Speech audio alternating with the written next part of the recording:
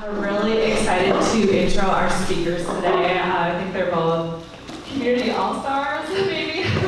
but welcome Denise Poindexter and Mariana Ortega of the Complicated DM podcast. They're going to talk to us today about empowering each other by erasing societal norms. So. do a mic check real quick. We had in practice earlier. Can you guys hear me okay? Perfect. Thank you. Awesome. So how are we doing this lunch hour? Buenas, buenas. How are we? Good? Yeah. We, we feel the energy. we are going to bring y'all, I don't know if y'all can hear me, but we're going to bring y'all some energy. So let's let's also bring that energy back. Um, our presentation is going to be interactive, and we're going to go ahead and kick it off. And we're excited to be here with y'all today. Um, as we get started, we're just going to tell you a little bit about ourselves.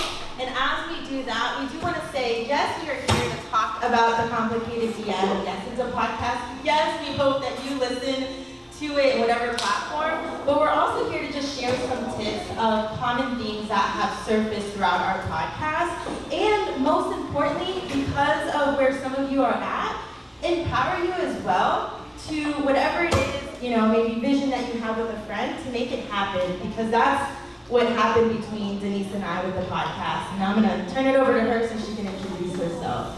Hi everyone, I am Denise Renee. I am a native of the natural state of Arkansas. Um, consider myself very much a Southern Belle and really polite and kind and all good things. Uh, with, and I also typically use my first and middle name because that's very much a Southern thing to do. Mostly when you're in trouble um, and then you know your family is calling you by your entire name. But I am Denise Renee, excited to be here uh, with you today. I'll tell you a little bit about myself professionally. Um, I serve as the Director of Executive Search for a uh, large healthcare recruitment firm um, called B.E. Smith, which is part of the AMN healthcare family.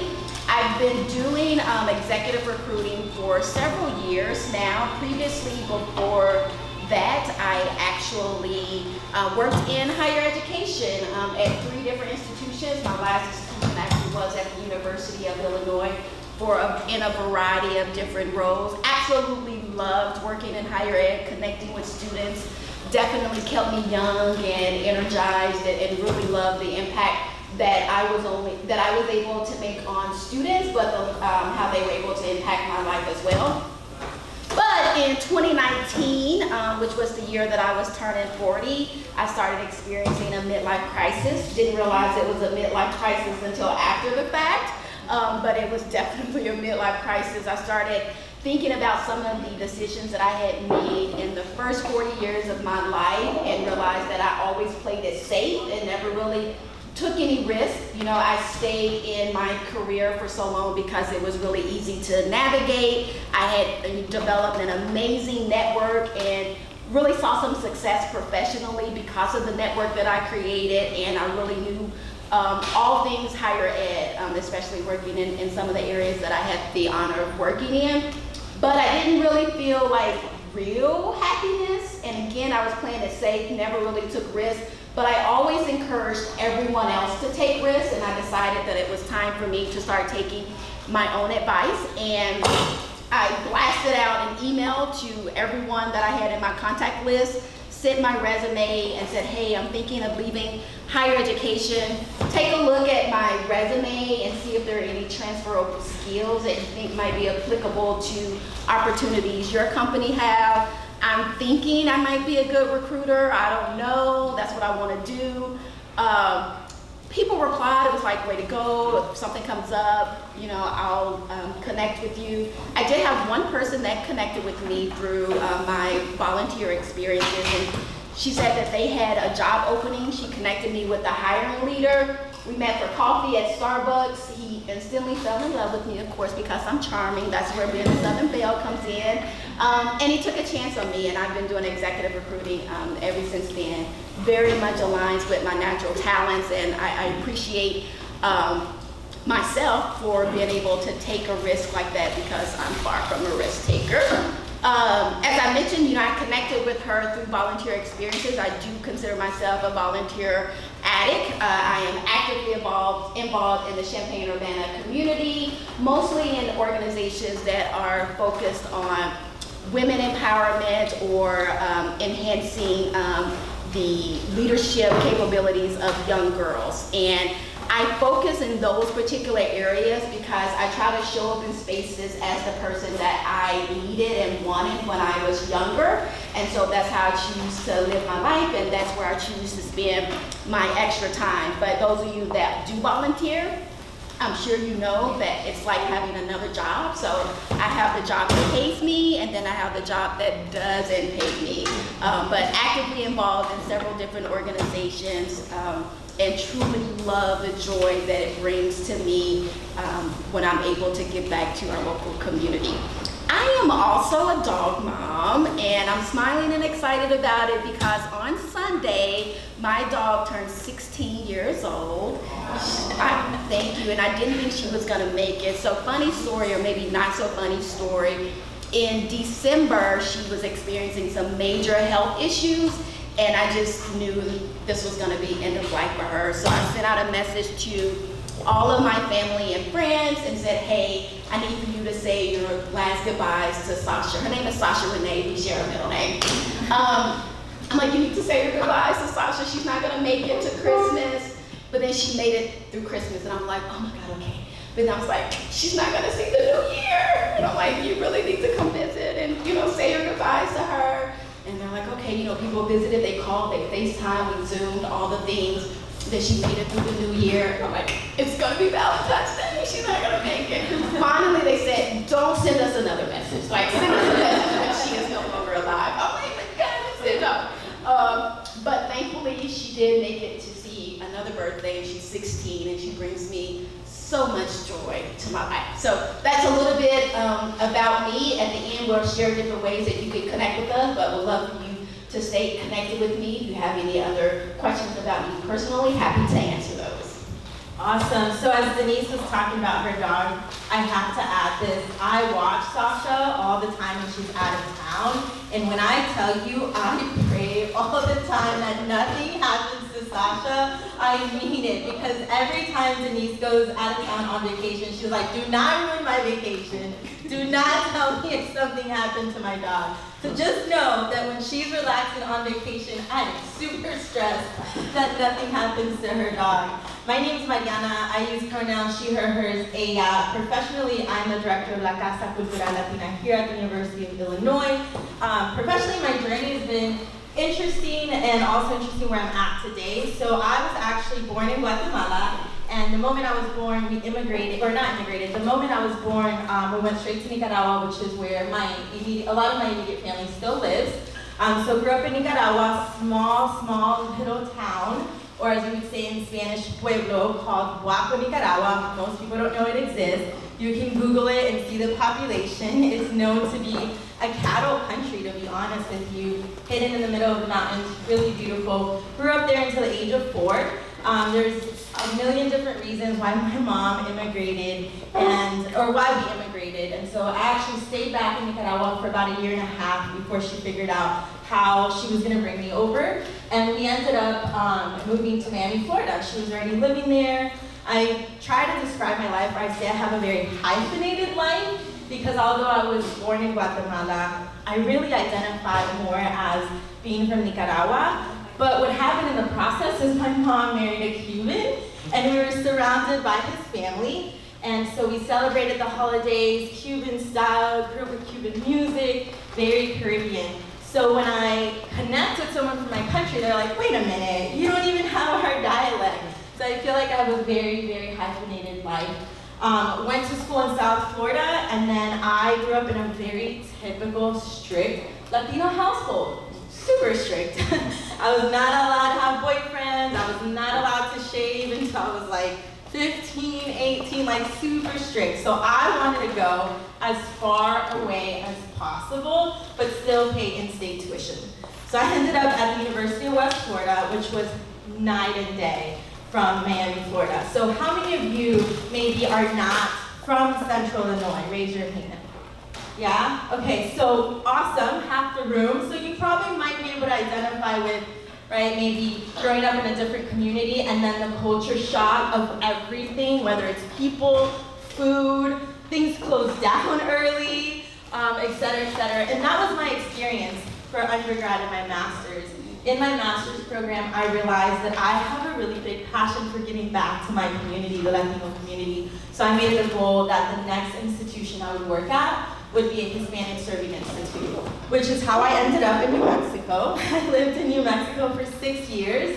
Um, I ended up working, working at New Mexico State University for six years. I share this because I always thought there were certain things about my life that would go a certain way, that I would always live near the beach, that I would not be landlocked, that I would live in the city. And how my life's journey has played out to be, it has been none of that. And I'm very thankful that I've been very um, willing to accept different opportunities and, and even opportunities that are outside my comfort zone. So fast forward, I did a national job search after being at New Mexico and really not having any room to grow. And that's how I ended up in the middle of the cornfield. My passion for, again, giving back to my own And similar to what Denise said, is really being that, that person that I didn't have. Yes, I had a mentor in college, but my mentor did not identify with my community. My mentor wasn't someone that I could go to and talk about that microaggression I just experienced. Or my mentor wasn't someone that could encourage me and say, you know what, no, speak Spanish, forget what everyone else says about speaking your native language in a public setting. That's kind of my journey of how I ended up here. I love my job. I've been here for the last three years, but again, never thought I would be in central Illinois. The winters are awful. I like they are. If you if you're new to the area and you haven't, like come talk to me. It's not cute, but I can give you some tips. We have um, to share your very first photo you took in the I do. I am a higher education professional. I fell into this field honestly because I was pursuing my parents' dreams of me wanting to be a doctor, and I kept failing botany, y'all. Botany, biology. I was in a biology for non-majors, and I was just awful at it. And I realized I wanted to do and be what my mentor was, and that was someone in a field in this kind of setting of higher education to help my students with their imposter syndrome and help them just get through. Um, so higher education has a big part in my life. I'm a community lover. I believe that even if you're not born or raised in the community you currently live in, you should give back. I don't judge those that don't, but I do think that there's a beauty in giving back to your local community. I will say my experience out in the Southwest really developed this for me even more because in the Southwest, it's all about giving back to local businesses. It's all about the land. It's all about um, the native individuals that live on the land and really focusing on local and community. Um, the organizations I'm a part of revolve around empowering K through 12 individuals and then also finding ways to elevate and provide access to the Latino community in town. And I'm also a dog mom. My dog's name is Harley Jenkins Ortega, and he actually um, just turned nine.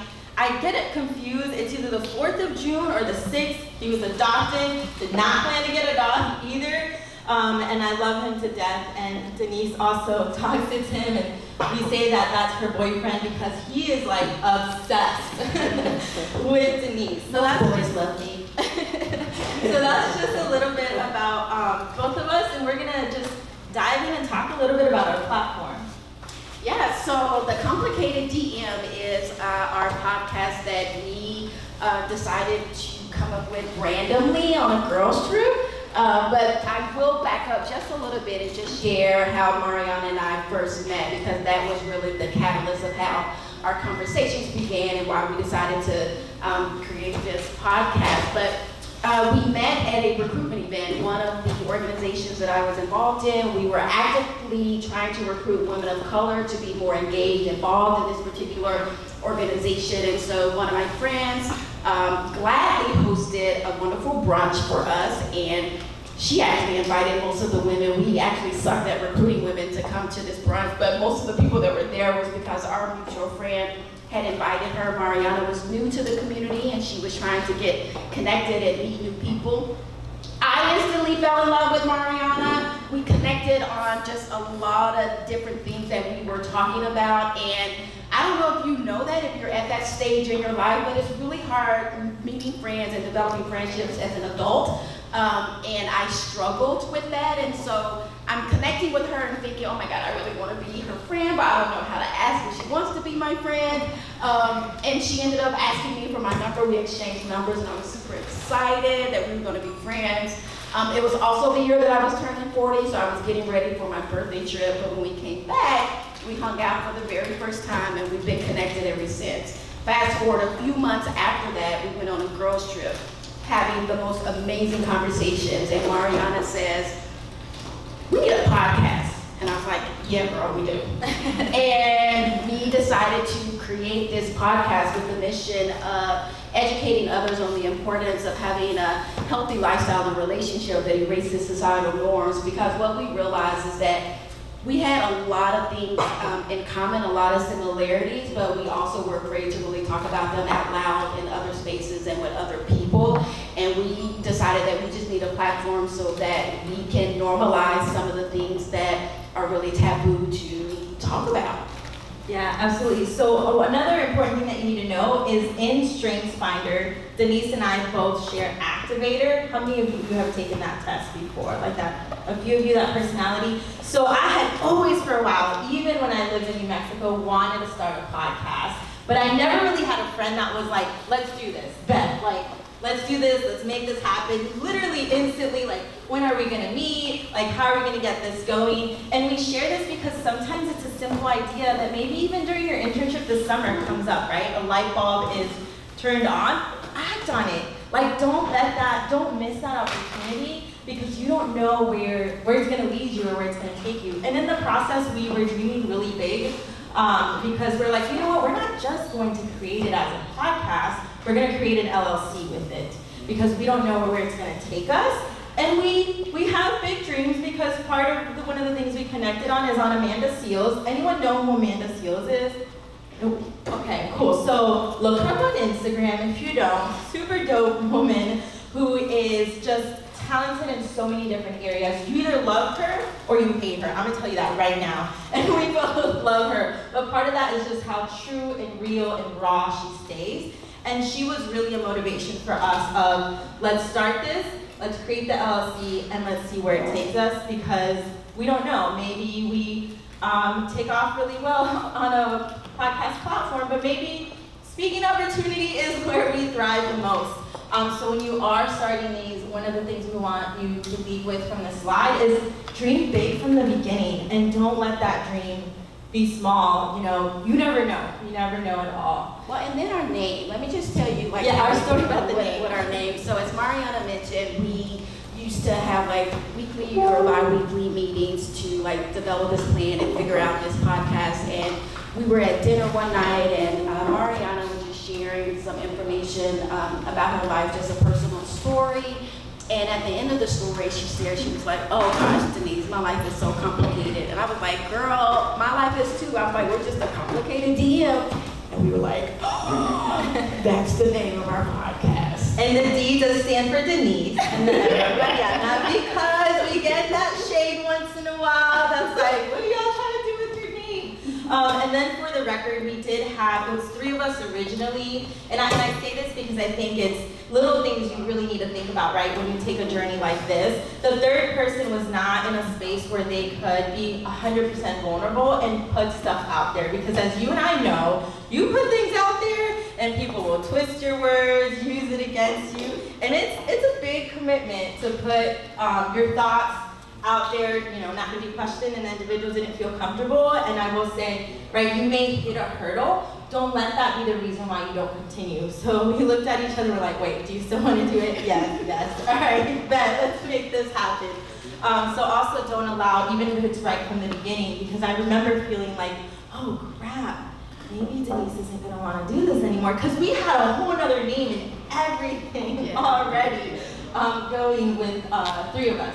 So as we dive into today's presentation, these are the four main tips that have surfaced through our episodes that we want to leave you with.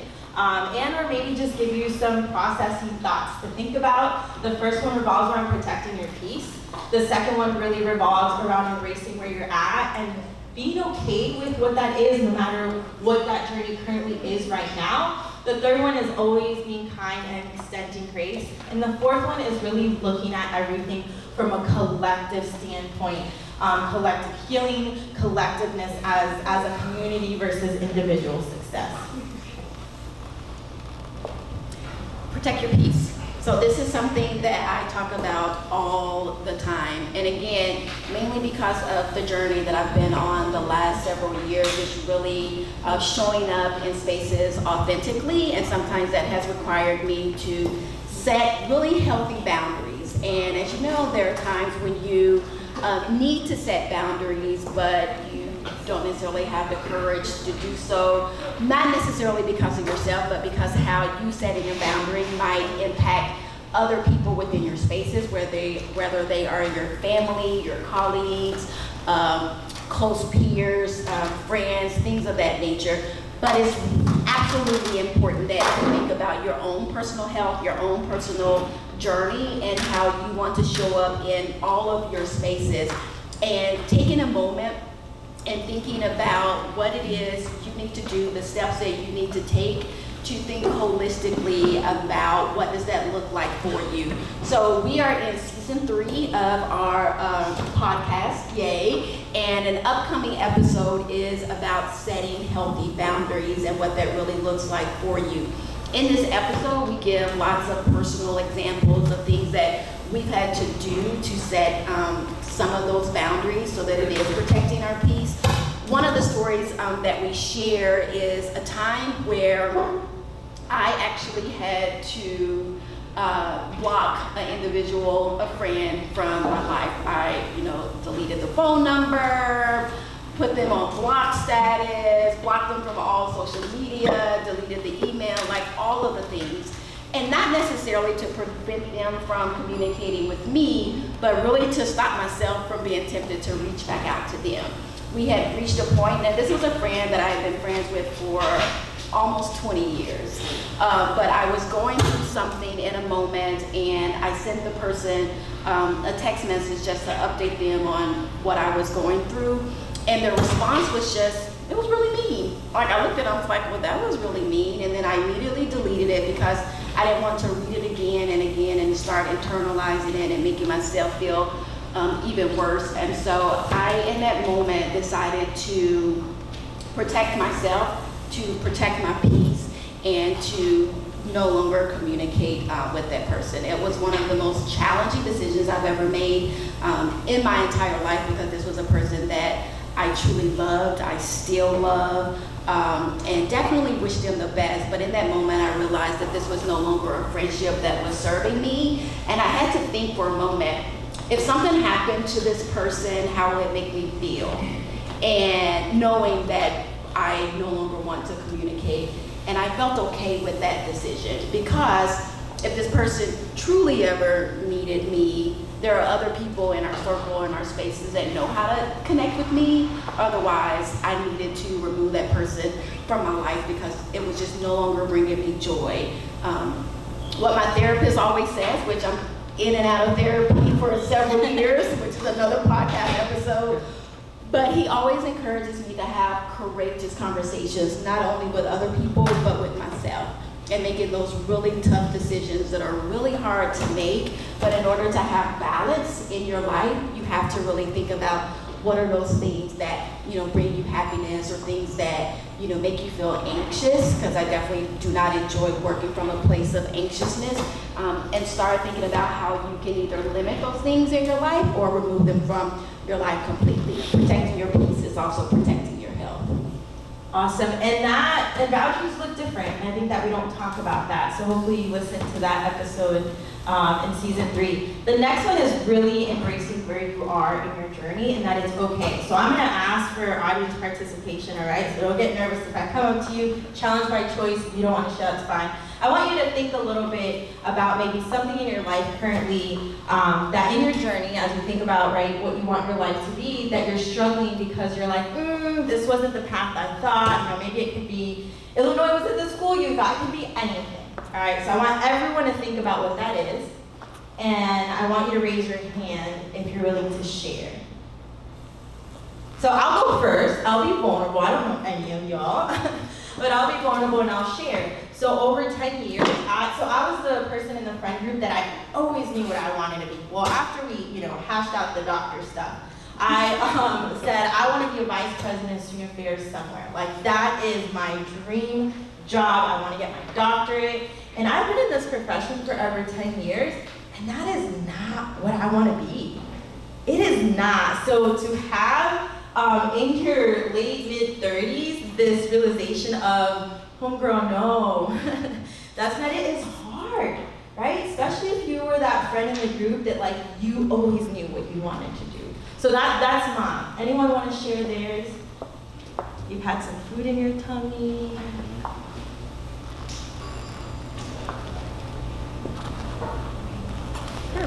Awesome, I'm gonna come back here. And if you're comfortable, say your name so we know who you are. No, that's cool.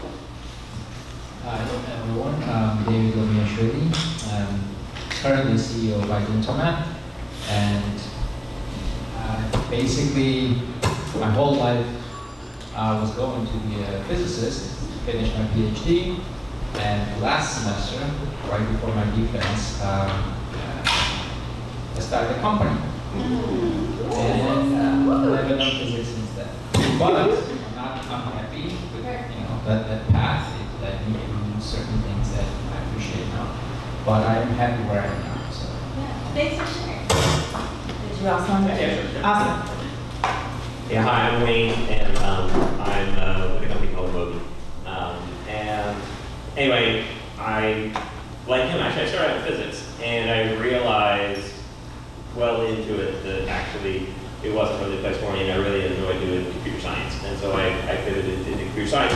That wasn't actually what I was going to say, but I had shared. Um, but anyway, after college, I got out and I had a great job with a company doing consulting, and it was fantastic, and I really liked my job, and I did it for a year or two, and imagine doing that for an extended period of time, and um, and then they they you know like every week I would fly somewhere different, and at some point I went back to headquarters, just we would do that periodically, and actually found out that was the day they were having like a huge layoff, and me, and it just like kind of hit me like a ton of bricks, and I was really surprised.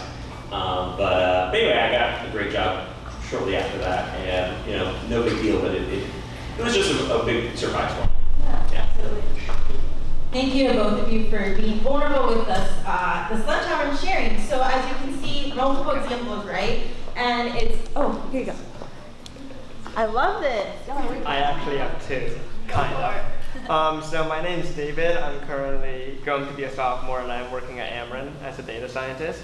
And one thing vulnerable was I always thought I wanted to do computer science, and coming, I'm like, okay, yay, CS. But then I switched more to the math side because for me, I just enjoy like the complexity of everything coming together like a puzzle and understanding, for example, if I'm modeling something, why does this model work per se, and how can we actually get down to the nitty gritty of it instead of just throwing XGBoost or some random model at it.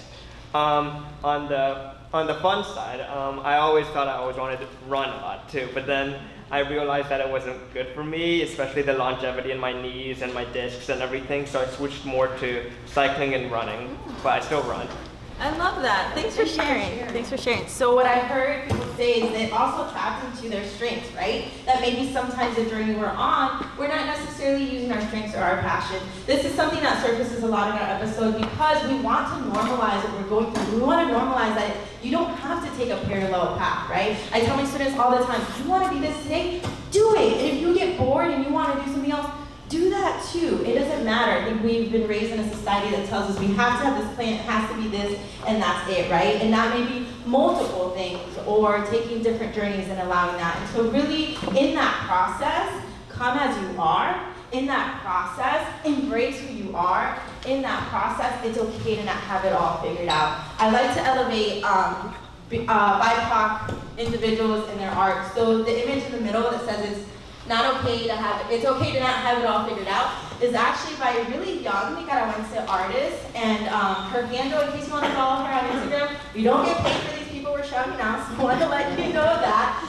but it's Smug Morenita. She does some really dope art. And this leads us to always be kind and extending grace because in that journey you are going to want to have those around you to extend grace and be kind. Before I turn it over to Denise, I also want to elevate another one, another artist Um, this art actually comes from a Jamaican born, she lives in Tampa, Florida now, named M. Kobe, M-K-O-B-Y. And during 2020 and all the racial injustice that was going on, she developed because she wants you to find or different individuals to see themselves within her art. This is art, this is actually called Built on Pride, and I think that this piece sums up a lot of what Denise is going to get into about being kind and extending grace. And in this piece, it's actually written to her friends, and it says, Dear friends, I want to take the time to thank you for being you. Thank you for supporting me, for fighting with me and for you too. Sorry, thank you for supporting me and for fighting with me and for fighting for me. Thank you for supporting me, for fighting with me and for fighting for me. I'm sorry. Um, I love you, I support you, and I will fight with you and for you. We're creating change together and building together, and that gives me hope. I celebrate you. And I, what I really love about that is that that really embodies any opportunity that I've had to lead some of the nonprofit organizations that I've been involved in. And that's really where I started uh, telling myself to always be kind and extend grace and really sharing that message with others that I've had the opportunity to work collaboratively with. Um, and I started that because, you know, as I mentioned, I have my regular full-time full-time job. I am actively involved in a lot of um, other service organizations. I'm a dog mom. Um, I try to have a social life, all the things. And sometimes it can be completely overwhelming. I can be completely stressed out. And sometimes I know I might drop the ball, right? And so what I try to do is start off really awesome in the beginning, you know, and everyone's like, oh my God, Denise is so awesome. She's hitting these deadlines. She's producing quality work. Like, we really love working with Denise because I know that there's going to be some moment throughout that journey where I might make a mistake, where I may not be able to meet the deadline. I'll communicate that, obviously, but I just know that the uh, quote unquote perfection that I set up in the beginning may not, may not always be that way throughout the entire journey. And so I try to practice always being kind and always extending grace to others because I do expect that in return. I know that there are a lot of times when people say you can't expect you and other people. I do expect for you to be kind to me. I do expect for you to extend grace to me um, because that's just being courteous, right? And that we all have moments where we need support, where we need encouragement. And so I am that person to you, and I do expect um, for you to be that person to me in return. Awesome. One of the things I forgot to say, and I normally say this throughout the presentation, is we're not experts, so don't come for us. a lot of what we share comes from a narrative and personal experiences. So I say this because our, our last tip is intertwined, and there are some um, like references and, and academic individuals that we are referencing in regards to this last tip, and that is collective work and responsibility and what that actually means when you're embracing it. What does that mean when you're normalizing some of these difficult topics that maybe you're not talking with friends? And so in the academic world, one of the things that we want to lead with is subject positionality. So really looking at from the lens of respecting each other, really looking at from the lens of checking our own privileges and what those are, and anytime we're in a space. The second thing is really learning that we can be more through a collective mindset, right? We can be more if we collectively join together this idea of a podcast versus me on my own doing my own thing, Denise on her own, and the magic of bringing two communities of two women of color together to really bring two very different perspectives on the topics that we talk about. And the last thing is really collective learning versus individual success. I said this earlier, but y'all, the honest power in this if we as society, and you can define society however you want, I actually got challenged recently by a friend of ours that was like, would you guys talk about society? What does society even mean? It, it's up to you, so don't come for us, don't come for me again. But really, if as society we embody this concept of collective learning, collective together as one versus this individual success that sometimes um, is, is promoted a little bit more. And one of the most powerful things to leave you off with this tip for you to really, if you take away one thing, maybe even out of everything we said, besides the name of our podcast, is learning in community is a practice of love by Bell Hooks.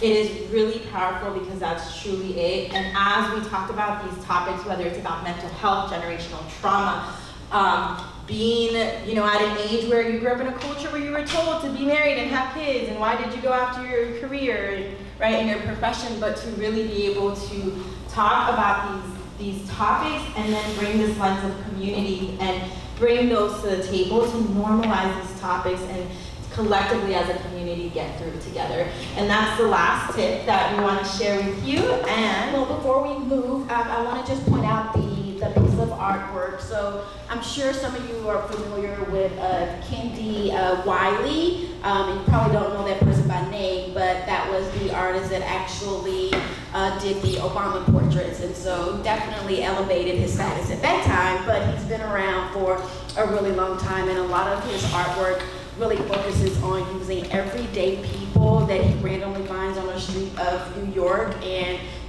them absolutely beautifully and, and making them part of um, his art collection.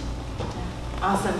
He's also known for taking a lot of um, what you would call out of very historic white art and bringing in a, a different lens into it and replicating it in that manner. So this is how you can contact us. Um, and we want to open it up to questions in case you do have any questions. Do you want to add anything, Denise? No, um, it, it looks like our slide kind of like messed up our um, email, but all of you are bright enough to know that it is .com and that those M's on the end really belong um, and they're part of the other slide. So. And thank you for having us during your lunch hour. Hopefully your, your tummy, your food is being digested and we didn't put you to sleep. Any questions? Talk about how you start a podcast. Like, what resources do you pull that off? Great question. Um, so we started with the equipment with a, a Yeti Nano mic. Um, that's honestly as fancy as we got. We never added like the pop, right, like the pop socket thing to help with the, the pops. Um, Well, before, I I think it's really important to know that we actually launched our podcast in the middle of the pandemic.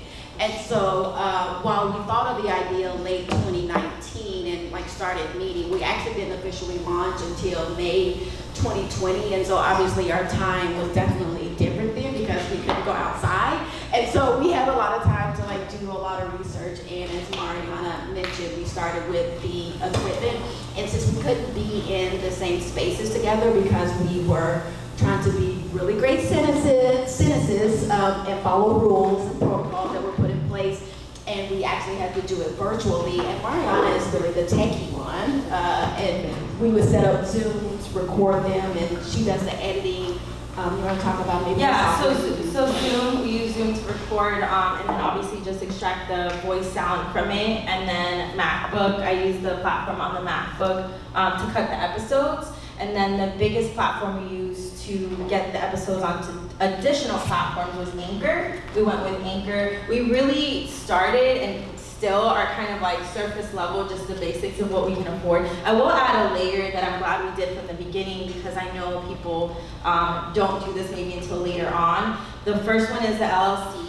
Um, we did pay for our logo. We found Denise knew an artist. They were running a deal. We were like, you know what? Let's just put our little pennies together and get our logo done professionally.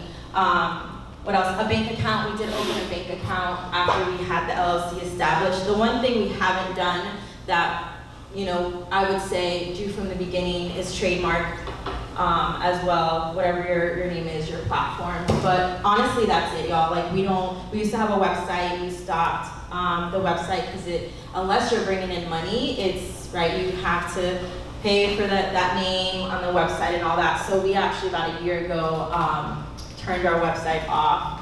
And that's it. We've just been doing like bare minimum. We are a summer podcast. We're and I are extremely busy between community service work, our full-time jobs, and other responsibilities as humans that we have. Summer was just the only time that we could um, dedicate to it, record, cut, and release. Um, so it's something different. I know some podcasts are year-round. We've just decided for it to be a summer podcast.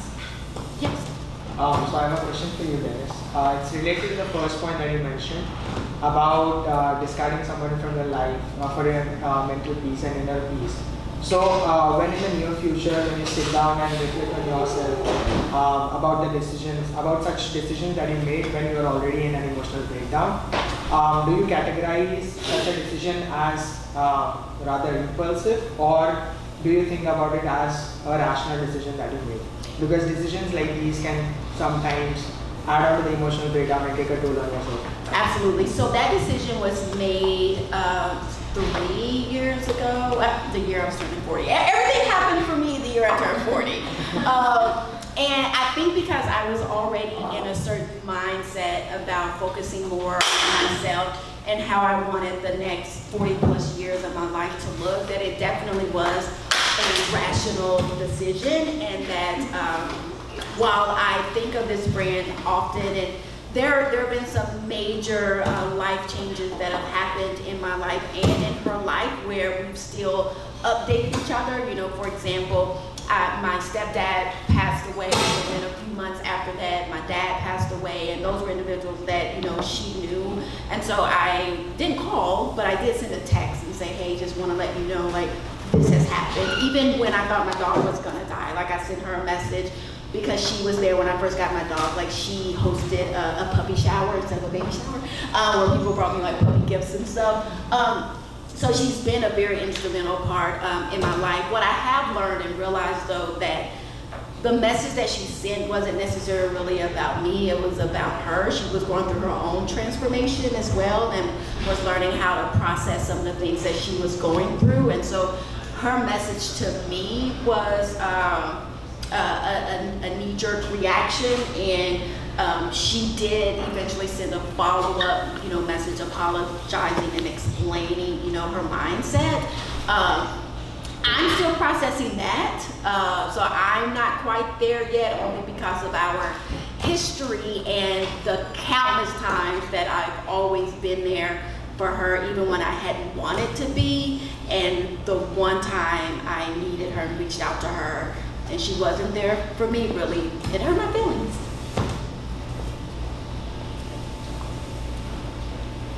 Yes, Denise, I give you props.